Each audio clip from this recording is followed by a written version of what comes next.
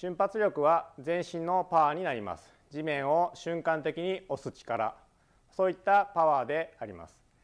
安定性や柔軟性がしっかりした後にチャレンジしてみてください。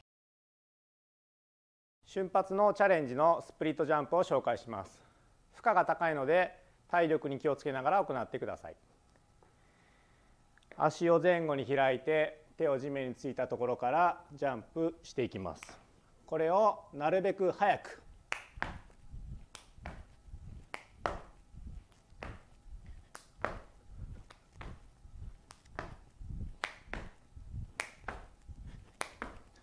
と10回やってみてください。